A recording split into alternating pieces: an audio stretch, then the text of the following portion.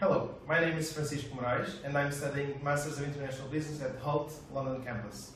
Today I'm going to talk about what makes a good management consultant and what I'll be known for, for the competition at EY.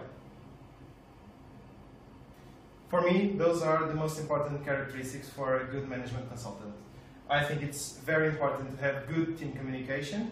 It's very important to understand uh, in which way we can help our colleagues and the and the, the and vice versa, and the relationship with our manager.